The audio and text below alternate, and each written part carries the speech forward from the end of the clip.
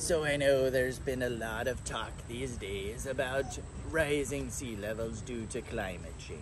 And since I know a thing or two about sea levels, I thought I'd share some information with you. You see, the sea levels, they go up and they go down naturally.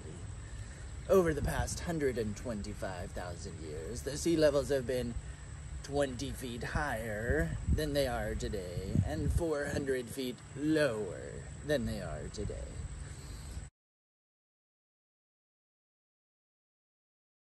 And over the past 140 years, since people have been measuring the climate change, the sea levels, they've gone up about 8 inches.